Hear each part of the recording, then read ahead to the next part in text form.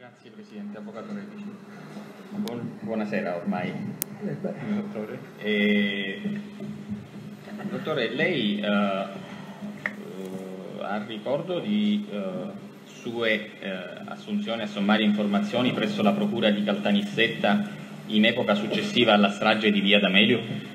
sì, E ricorda da quale magistrato o quali magistrati venne sentito? Qui a Caltanissetta Sì. al- nel- il 5 maggio del 93 dalla dottoressa Bocassini e il- l'8 settembre del 2009 dal, eh, dalla- dai componenti della DTA, quasi tutti al, al completo, tranne il dottor Lari che allora era il procuratore. Ah, E dalla eh, precisione della sua risposta mi induce a farne un'altra. Sono le uniche due occasioni in cui lei è stato sentito qui a Caltanissetta dai pubblici ministeri? Eh, sì, sì, a Calta- sull'argomento sì. Su- nel- ne- in que- ehm, relativamente a questi due, eh, eh, questi- sì, sì. Poi sono stato sentito, se non ricordo male, anche altre volte, però per altre eh, vicende? per- insomma, anche a Palermo. Vabbè, quello lo diamo per scontato. Eh, senta, lei il 19 luglio del 1992 in che ufficio prestava servizio a, San quella- Lorenzo, a quell'epoca? Commissariato San Lorenzo Palermo, In qualità di? dirigente di del dirigenza del commissariato. commissariato. Ehm, in relazione alla strage di via eh, D'Amelio, eh, lei eh, ebbe occasione di eh, occuparsi di, in qualche modo di indagini? No, di indagini direttamente no. No. E al tempo eh, al commissariato San Lorenzo prestava servizio un eh, sottufficiale, immagino, eh, il cui nome dal verbale io apprendo Salvato- è Salvatore Angelo. Sì, Salvatore il nome, Totò, per capirci, Angelo il cognome. E eh, dal eh, cos'è, che grado aveva? Sovrintendente ispettore? Ma credo che fosse semplicemente assistente o Ah. sovrintendente, Allora, il- l'assistente o sovrintendente Angelo eh, le ha mai eh, riferito eh, qualcosa avvenuto il 19 luglio 92 Sì, e, Eh. e che, che lo vide eh, personalmente come dire, eh, Sì. coinvolto, interessato? sì, ehm, esattamente questo, e cioè che eh, in- fu invia- era, lui era uno dei due componenti della volante San Lorenzo, assieme alla- all'altro, Alberghina, ecco, adesso mi ricordo pure là. Ehm, e eh, f- eh, furono inviati alla sala operativa sul posto, del- sul luogo dell'esplosione, quindi della strage, praticamente nella immediatezza della medesima, subito dopo. Credo che, se non ricordo male, arrivò come seconda o terza volante sul posto. D'altronde il- il- la circoscrizione di San Lorenzo, lui faceva la volante San Lorenzo, è sostanzialmente adiacente a quella di, eh, della zona di Via D'Amelio, vicino alla fiera, eccetera. E eh, le eh, riferì eh, di qualche presenza in particolare sui luoghi di Via D'Amelio nell'immediatezza? Sì, sì, mi riferì. eh, E cosa in particolare le disse?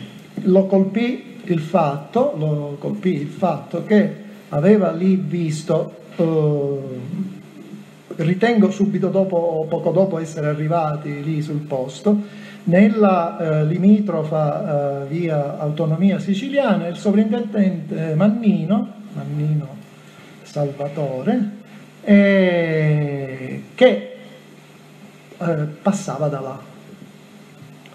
E, mh, in quel momento, cioè 19 luglio 92, lei sa in- dove prestava servizio il sovrintendente eh, Mannino? a Firenze al reparto mobile, cioè la cosiddetta celere.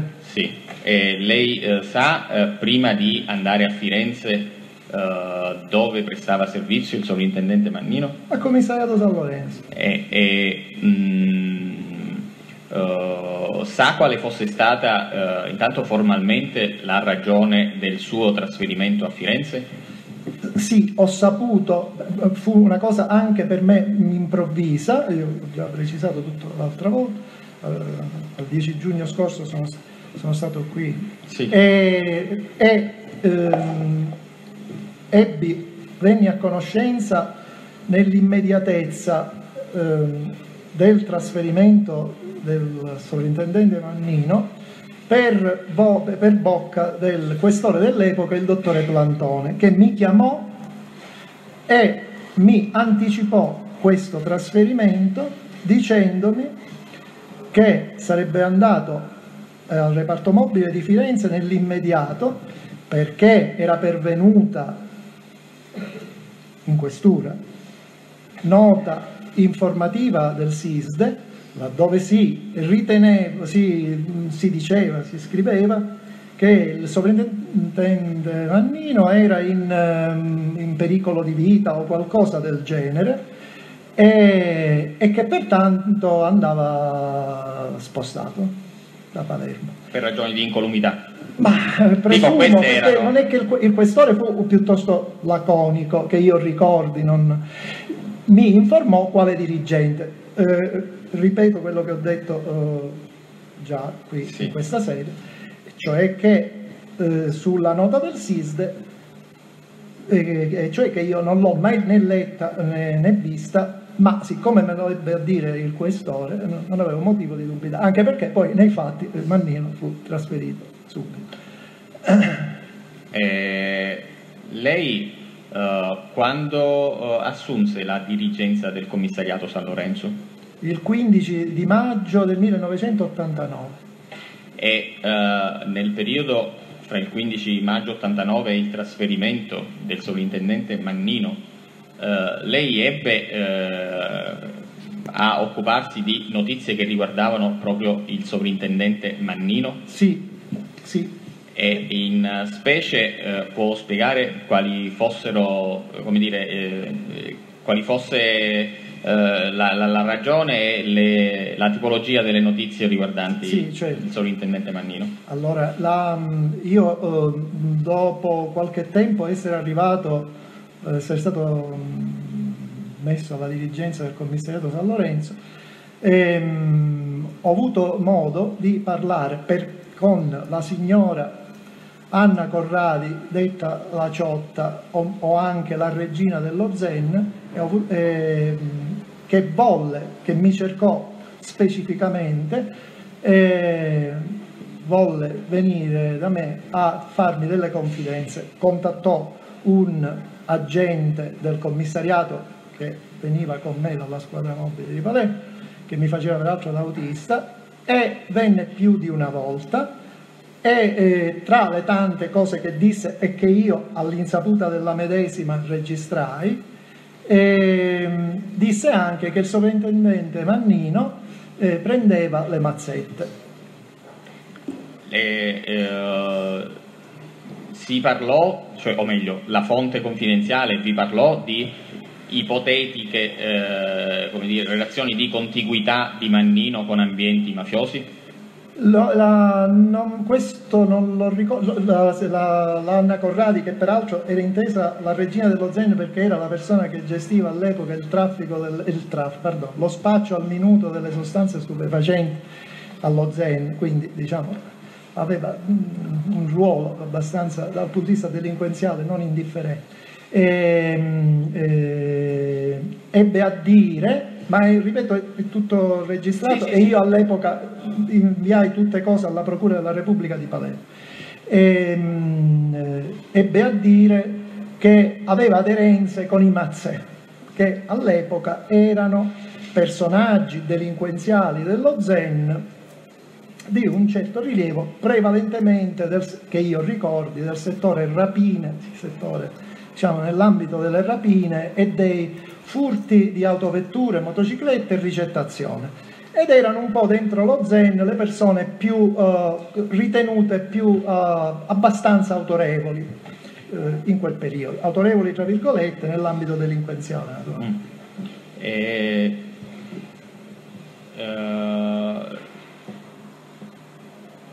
lei ha mai saputo se il sovrintendente Mannino abbia avuto in qualche modo eh, rapporti eh, con eh, esponenti del eh, SISDE?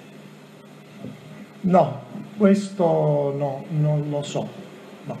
No, almeno non ricordo assolutamente nulla in merito. E, posto che il soggetto di cui ora le chiederò ha avuto anche altre funzioni, ha mai saputo di rapporti del sovrintendente Mannino col dottor Bruno Contrada? No,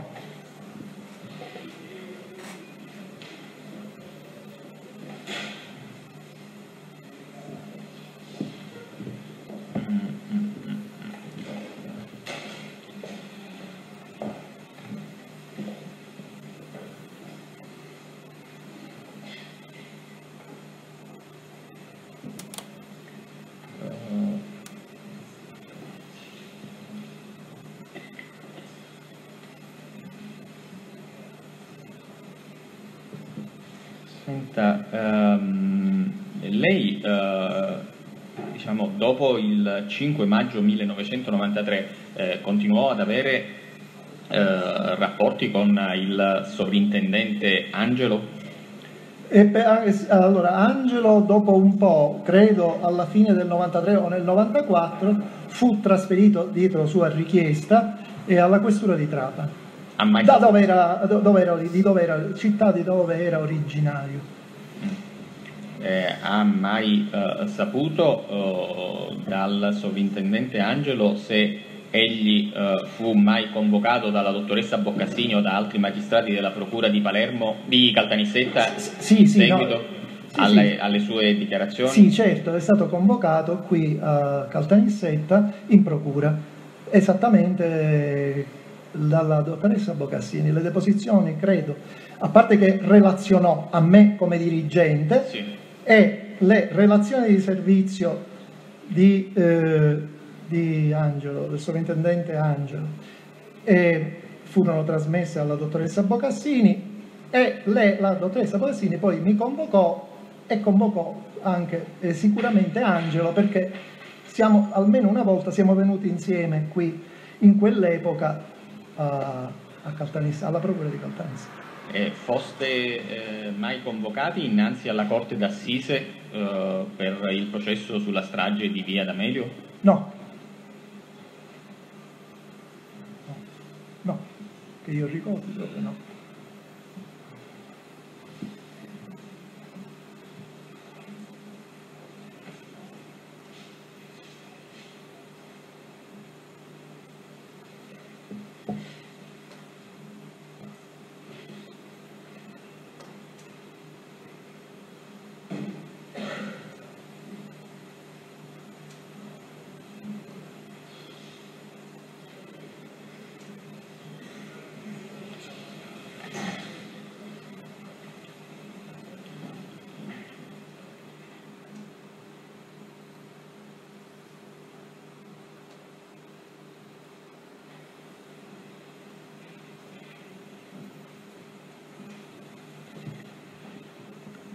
Presidente, io no, per il momento non ho altre domande. Va bene, ci sono altre domande degli, eh, del pubblico ministero, dei difensori?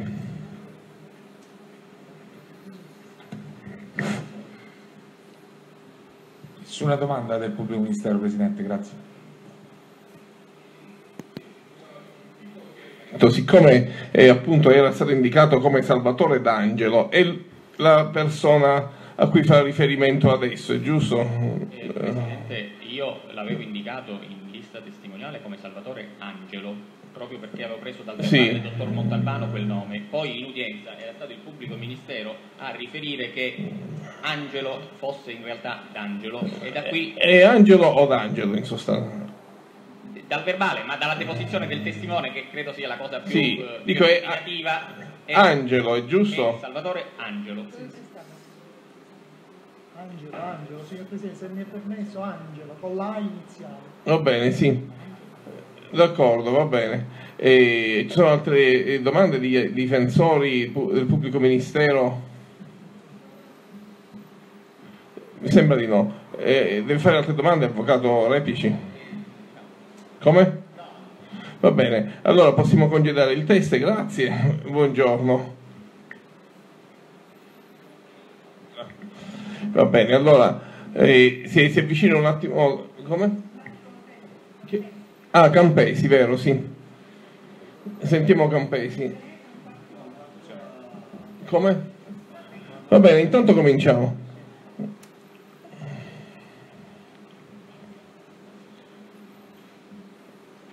Perché se non eh, fosse concluso entro un quarto d'ora dovremmo poi sospendere per eh, ragioni tecniche in quanto... Un quarto d'ora io credo che non ci sia nemmeno... No, va bene, allora, allora lo uh, iniziamo a sentire, poi per ragioni tecniche verrà uh, un attimo sospeso per uh, la masterizzazione del supporto su cui vengono registrate le deposizioni. Va bene, allora prego. Sì, vuole allora eh, dovrebbe anzitutto prendere questa dichiarazione di impegno a dire la verità e poi dovrebbe dare le sue generalità. Consapevole della responsabilità morale e giuridica che assumo con la mia deposizione, mi impegno a dire tutta la verità e a non nascondere nulla di quanto è a mia conoscenza. Va bene. Il signor Campesi Roberto, sono nato a Palermo il 27-2-1959. Va bene sono residenti a Palermo. Il, allora, la difesa può proced- di parte civile può procedere all'esame. Buonasera signor Campesi. Buonasera. Eh, senta, lei ha mai eh, prestato servizio nelle forze dell'ordine? Sì. In quale e in che periodo? Ho prestato servizio nell'Arma dei Carabinieri e sono entrato in servizio nel 1982 eh, ha prestato servizio, eh, presta tuttora servizio nell'anno? No, no, no, assolutamente. Fino no. a quando ha prestato servizio? Allora, io ho prestato uh, servizio dal 1982 al 1983 eh, presso il comando Legione a Palermo. E, e allora vi faccio una eh, richiesta di precisazione. Ha prestato servizio in qualità di ausiliario o di militare sono dell'arma entrato, a tutti gli effetti? Sì, sono entrato nell'arma uh, con la qualifica di carabiniere ausiliario nel 1982. Mm, quindi in servizio di leva? Sì. E, e, e, il suo servizio da carabiniere è stato uh, per tutta la durata del periodo di leva o anche successivo? Cioè per intenderci, lei si raffermò No, io Dopo sono il servizio stato... di leva? No, io sono, sta... io sono andato in congedo e poi ho eh, avuto un richiamo da parte dell'Arma dei Carabinieri, ma eh, non ho ottemperato perché svolgevo un'altra attività lavorativa e quindi eh, il mio periodo regolare nell'Arma dei Carabinieri viene fissato 1982-1983. C'è una ragione per cui ha detto il mio periodo regolare? C'è qualcos'altro oltre al periodo regolare? Sì. Bene. Può spiegare di cosa si tratta? Allora, io eh, ho eh, svolto un incarico per il quale sono stato contattato per i sistemi di difesa del, dello Stato italiano. Sono stato contattato da un reparto specifico dell'Arma dei Carabinieri e eh, subito dopo le stragi di, eh, di Capaci e di Via D'Amelio ho iniziato a collaborare con il reparto del gruppo di intervento speciale dei carabinieri che ha approntato un sistema per rendere più efficace la uh, difesa della personalità a rischio che era il dottor Giuseppe Ayala. Sì, allora andiamoci per gradi. Lei dice io venni eh, contattato eh, da un eh, specifico reparto dell'arma eh, il, e poi ha spiegato di che cosa si trattò in epoca successiva, mi pare di eh, capire. Il contatto avviene già dopo la strage di Via D'Amelio o prima? Il contatto è avvenuto subito dopo la strage di Via D'Amelio. Ah. E fra il 1983, epoca in cui si era congedato, e il, eh, periodo cui, il, il, momento in cui fu contattato subito dopo la strage di via eh, D'Amelio, lei ebbe eh, rapporti con l'arma dei carabinieri? Sì. Mm, in che epoca e eh, mm, con, per quali ragioni? Il rapporto è stato continuativo anche allora quando io eh, ho lasciato ufficialmente l'arma perché avevo eh, una preparazione specifica e ho collaborato per diverso tempo con eh, il nucleo catturandi della caserma Carini e ho avuto anche degli incarichi che poi hanno portato all'arresto di eh, personaggi di spicco della criminalità organizzata legati al traffico di droga internazionale. In particolare ecco. mi riferisco alla cattura del boss Miceli, che era rientrato, del boss Miceli. Cognome e il nome? O, la, o, o diciamo la provenienza geografica, diciamo? Era latitante da tantissimi anni e io avevo individuato il covo dove il Miceli si nascondeva e quindi eh, avevo approntato queste note informative operando con eh, il nucleo catturandi e pervenendo alla cattura del pericoloso latitante. Può riferire alla Corte eh, il nominativo di qualcuno degli ufficiali o sottufficiali, comunque di appartenenti al nucleo catturandi con cui lei ha avuto rapporti? Il capitano Zanaroli che all'epoca dei fatti era il comandante della catturandi di Palermo della Carini del nucleo operativo, ma eh, collaboravo anche con altri nuclei speciali dei carabinieri. E quali? Sempre della Catturandi. Quindi lei collaborava con la Catturandi e, e con il, il capo, cioè il capitano Zanaroli, e poi ha detto eh, collaboravo anche con altri nuclei speciali, sempre della Catturandi di Palermo? Eh, non solo. Anche di altri luoghi d'Italia? Sì. E di quali città? Eh, il reparto era di stanza a Livorno, anche attualmente adesso è in stanza a Livorno, è del gruppo di intervento speciale dei Carabinieri.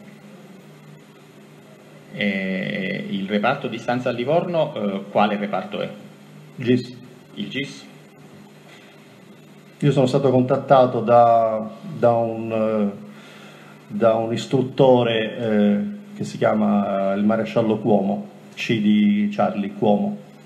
Eh, il nome non lo ricordo sì, perché... Ha detto Charlie? Eh, poi... Cuomo, Cuomo ah. il maresciallo Cuomo. Cuomo? Sì. E che era in servizio al GIS lì a Livorno? Sì.